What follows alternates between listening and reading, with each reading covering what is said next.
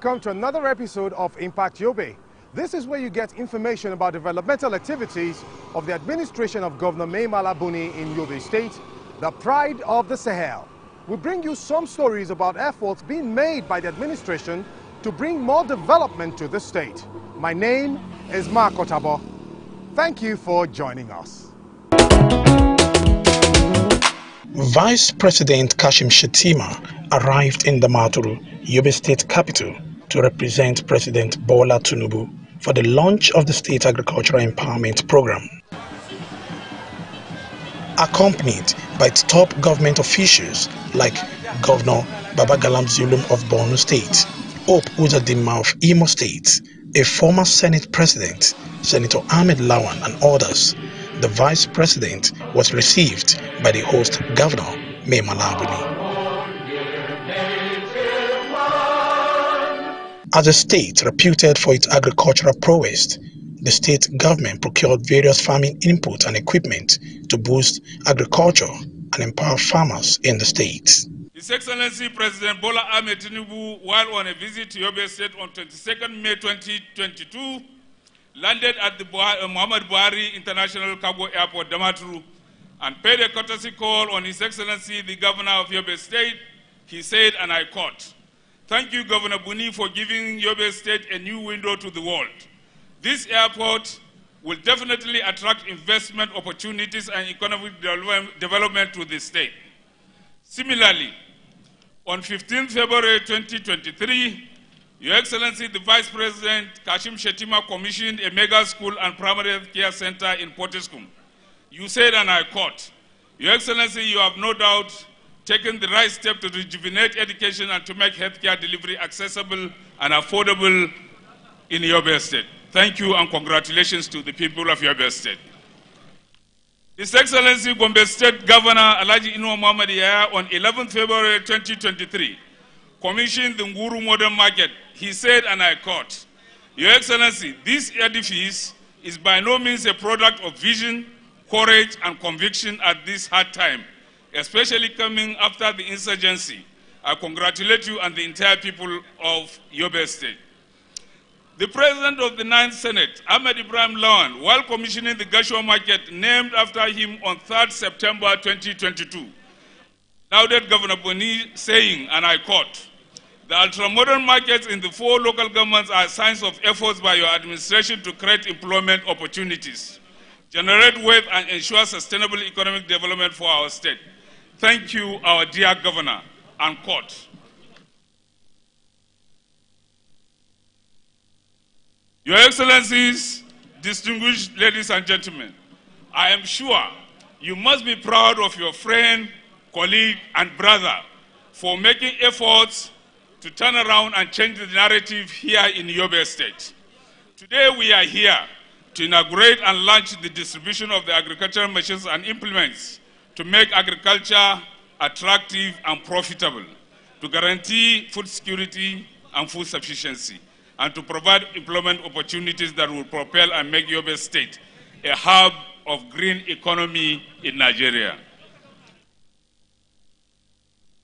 Excellencies, if you look around, of course, it is evident for everyone to see that this administration, under the leadership of His Excellency Honorable Mai Mala Buni, is no doubt making efforts to see that Yobe State is not only sufficient, but also to make agriculture a kind of, uh, to, to recover the lives of the people and also to make it economically buoyant.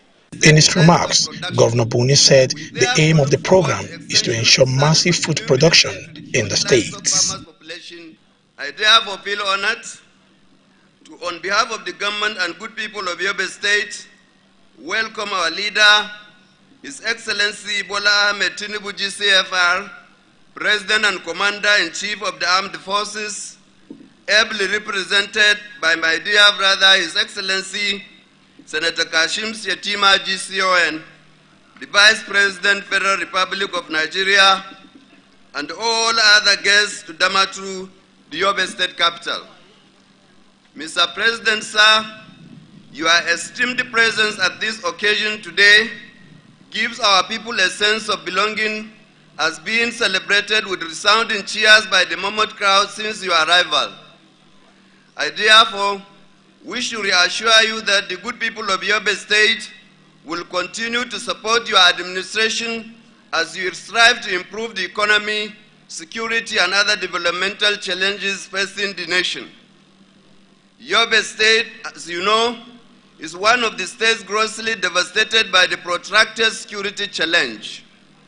There is inaccessibility to farmlands due to security threat and other natural factors such as erosion, desert encroachment, low rainfall, etc., have massively affected agricultural productivity with monumental consequences on the lives of our predominantly agricultural population and the economy of the state.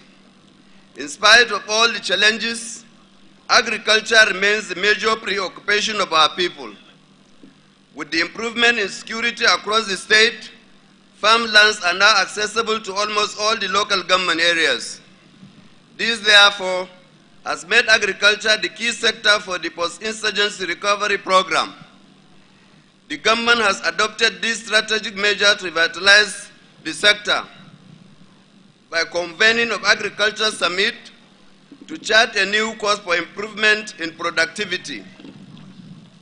Constitution of Steering Committee on Revitalization of Agriculture and Development of State Sector Strategic Plan in conjunction with the Bill and Melinda Gates Foundation. Develop agricultural policy document to achieve food security, contribute to national economic diversification. The document has been validated in collaboration with EU Yobe Public Finance Management Project in conjunction with DAI International. The Yobe State Government, in collaboration with the federal government, has established livestock development centers to curb farmers' herders' clashes, commercial pasture production, and increase in meat and dairy production. The state is currently reviving 2,000 hectares of lava irrigation scheme in Bursari local government area to cultivate wheat, rye, and vegetables in the next dry season irrigation program. As a leading state with the largest production of high-quality sesame seeds, we have established four sesame seeds processing factories in Damaturu, Nguru, Machina, and Potiskum. Government has also awarded contract for the rehabilitation of Agricultural Development Program headquarters in Damaturu and the five zonal offices in Buni Yadi, Gaidam, Gashua, Nguru, Potiskum to enhance effective and accessible extension services to our farmers. The Damaturu International Cargo Airport will effectively be used to transport livestock, milk dairy products, gum arabic, sesame seeds, cowpea, groundnuts within and outside the country.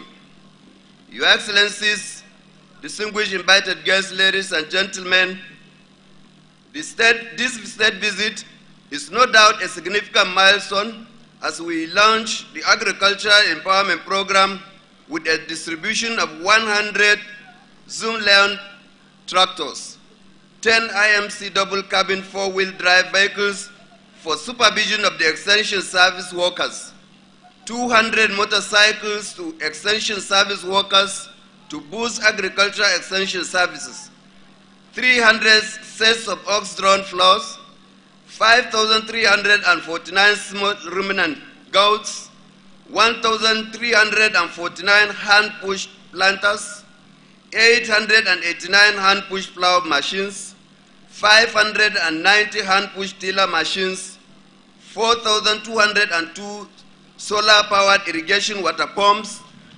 improved assorted seeds, and 72,000 bags of fertilizer, among others. The distribution arrangement is made up of 30 farmers in each of the 178 electoral wards of the states, making a total of 5,340 farmers to benefit from this scheme. Except for the tractors and fertilizer, all the other agricultural equipment and inputs are to be given out free to our large-scale and medium and subsistence farmers.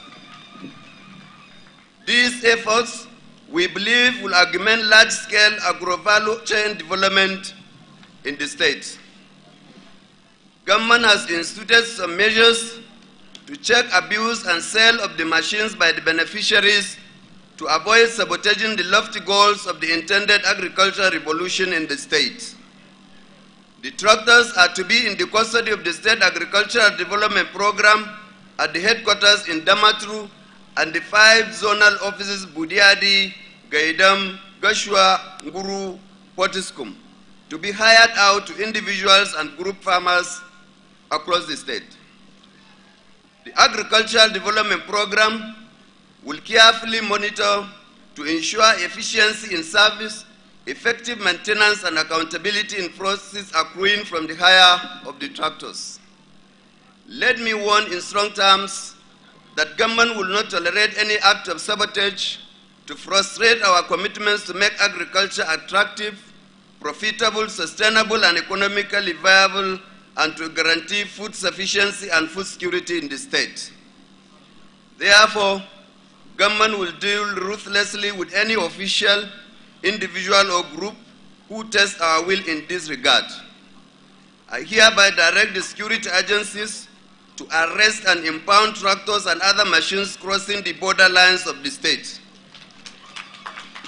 While such saboteurs are made to face the full wrath of the law. Let me use this opportunity to passionately appeal to the good people of Yobe State to take advantage of this laudable opportunity to embrace agriculture for us to cultivate and produce what we eat to ensure food security and economic development. You will recall the sad and unfortunate experiences we had in Yobe, Borno and Adamawa states during the trying moments of adverse security challenges when our people could not access their farmlands as peace eluded this part of the country. We know better what the absence of peace means. We have, we have many sad stories to tell from our horrible experiences. We cannot afford to invite any other threat to peace and security. Therefore, we should jealously guard the peace we now enjoy and never be part of any plot to disturb our hard-earned peace.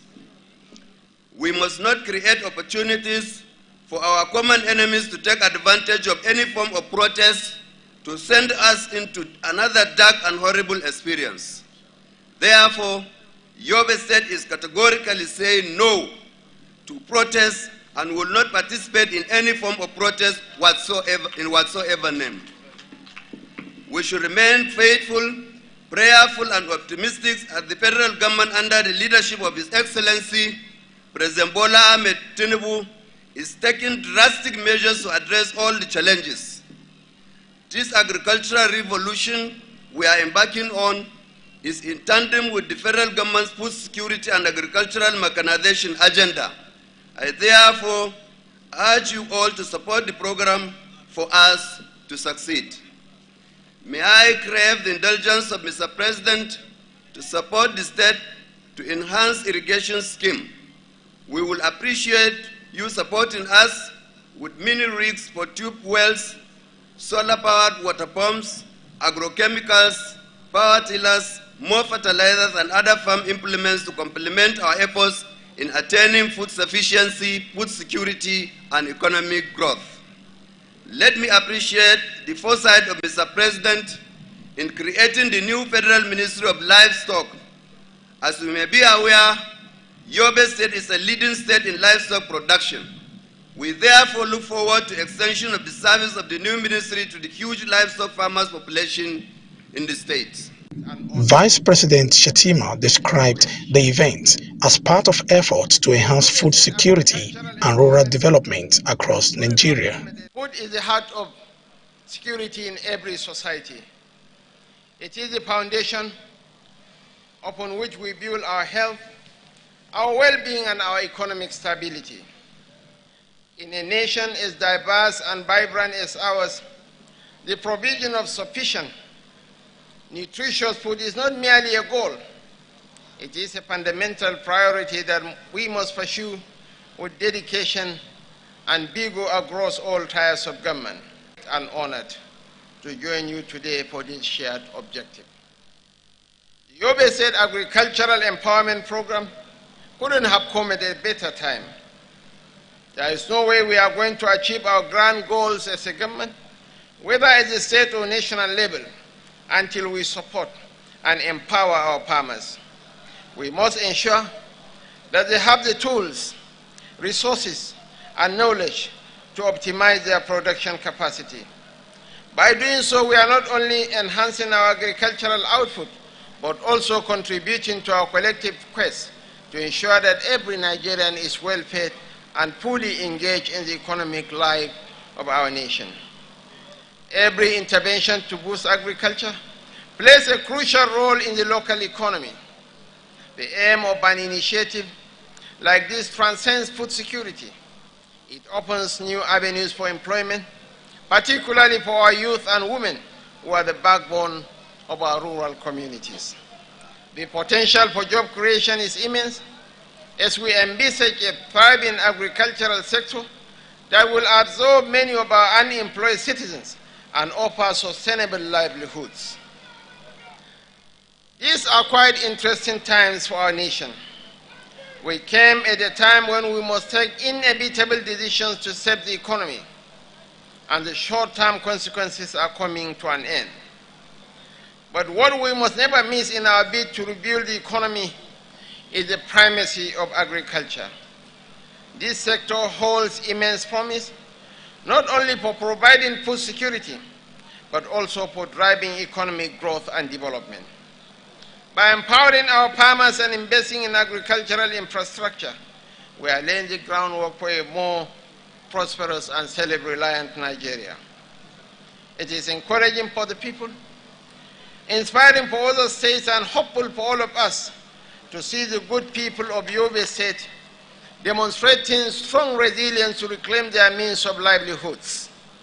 This support by the Yobe State government will, therefore, make agriculture attractive and improve the farming population in the state to attain food security and economic prosperity. With the improvement in security in Yobe State and the Northeast generally, it is my hope that the people will take advantage of such interventions to move from subsistence farming to commercial agriculture. With the establishment of four sesame seed processing factories in the state, and the presence of a cargo airport to promote international trade in sesame seeds, gum arabic, and livestock. I am more than confident that this program will enhance the production capacity of Yobe State and drive its partnership with the federal government, other states, and corporate organizations to achieve the desired diversification. This is a legacy that will outlive us, and as such, each of us must play a part in helping it excel. Since food security. He noted that agriculture remains the best way to go for Nigeria to avert food insecurity. We have recently approved the creation of the Ministry of Livestock Development. This is intended to improve livestock production in the country and enhance the destiny and narratives of our livestock production. This is in tune with global best practices for healthy meat and dairy consumption and export to improve the economy. Your Excellencies, distinguished ladies and gentlemen, the provision of massive agricultural machines and implements by the Yobe State government has no doubt prepared the ground for an agricultural revolution in Yobe State. I am optimistic that at the end of the cropping season, the people of the state will have sufficient food, both for their households and for export within the country and beyond. Each of us in this gathering must come to terms with the fact that the era of relying on rain-fed agriculture is gone. These machines are here to ease our practice of irrigation farming. Yobe has abundant arable lands, rivers, and oases to achieve this. It also has an energetic, useful population to make agriculture more than just a means of, product, of producing food, but a lucrative business across the value chain. Today, I assure you, as I have always done, that we are taking drastic measures to address the security challenges to make farmlands safe and accessible in every state of the Federation. I am optimistic that in no distant time, the new measures will lead the expected results. On your request from the federal government to support the state with mini rigs for tube wells, solar water pumps, agrochemicals, power tillers, more fertilizers and other farm implements to complement your irrigation scheme. I assure you that we operate an open door policy and as such, your concern is our concern. Your problem is our problem. I hereby extend to you the approval of the President to oblige you with all your requests. On this note, I have the honor and pleasure to cherish forever on behalf of President Bola Ahmed Tinubu, GCFR, to declare the launch of this massive agricultural empowerment program. The Vice President launched the program on behalf of President Tinubu and inspected the inputs and equipment at the August 27 Stadium in the Damaturu.